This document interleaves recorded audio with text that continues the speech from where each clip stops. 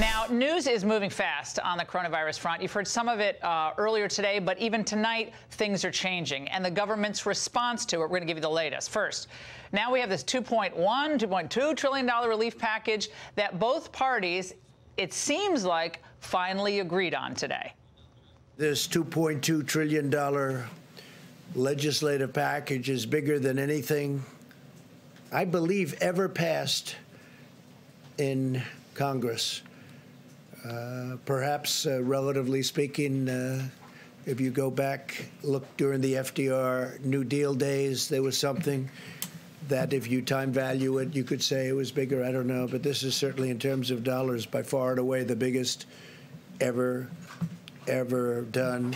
And well, of course, that has sent a lot of conservatives just like gasping uh, when they heard that, but we knew it was coming, and most of us did understand that something needed to be done to help American workers and businesses. There's a lot, though, at the same time, not to like in this package. Now, check this out. Nancy Pelosi is still holding out for this provision that would basically gut any state voter ID requirements. I kid you not. And it's all sorts of stuff with ballot harvesting. This is a nightmare. So I, am thinking about this. I guess they're watching old Joe's campaign stumbles. So the, the, the whole thing is really starting to look like a weekend at Biden's, as I said a few weeks ago. And another concern that the federal unemployment benefits, we want people to get help, but will last 39 weeks. In other words, through the end of 2020, God help us if this shutdown goes on that long or any, anywhere approaching that long.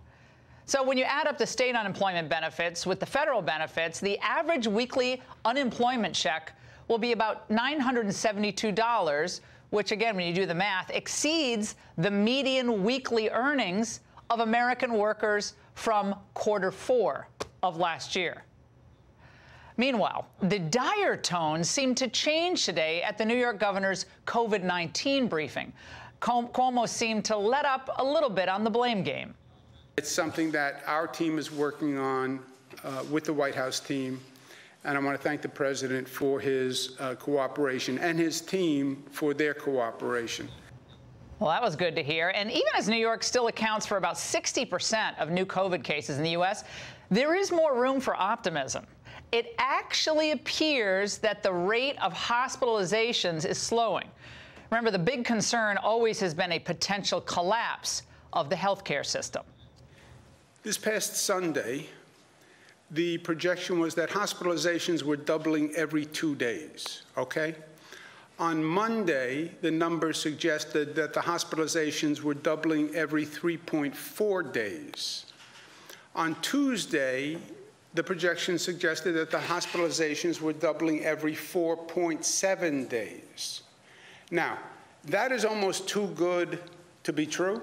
The arrows are headed in the right direction, and that is always better than the arrows uh, headed in the wrong direction. Well, I'll say. And the number of new infections in New York is starting to show some signs of uh, good news as well. On Monday, the state reported an increase of 5,707. On Tuesday, it went up 4,790. That's nearly a thousand person decrease in the rate of increase.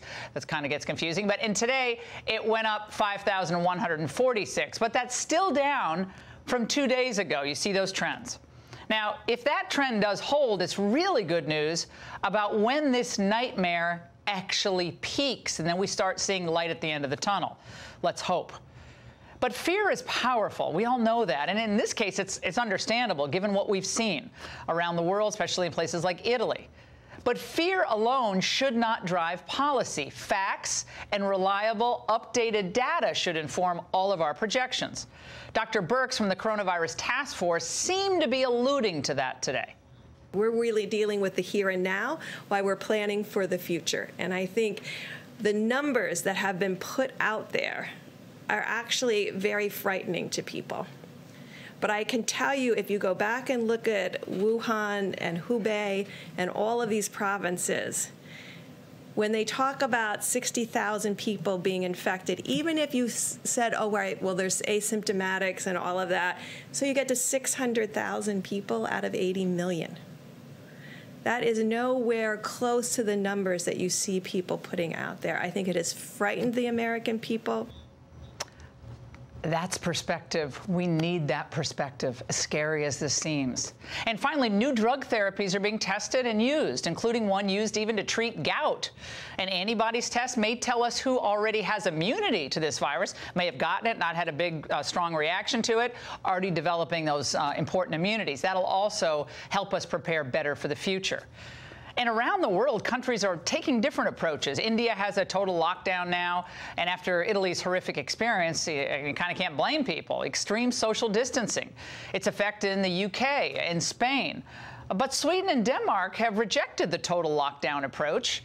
Uh, and they're getting some grief for it, but are not seeing a greater rate of infection than some of their European counterparts. That's really interesting. Only time will tell which approach was right and which one might have been going a little too, too extreme. But for us, we're ending day 10 of the first 15 days. Uh, and how much longer can we anticipate this shutdown lasting?